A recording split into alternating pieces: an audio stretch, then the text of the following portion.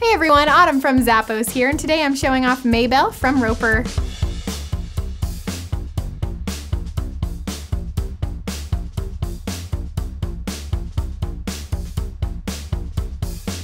These awesome boots have a burnished black faux leather upper. I love that it's got a little bit of western style, but it's nice and edgy too. You've got these cute buckle detailings with metallic hardware. It does have a zipper for easy on and off.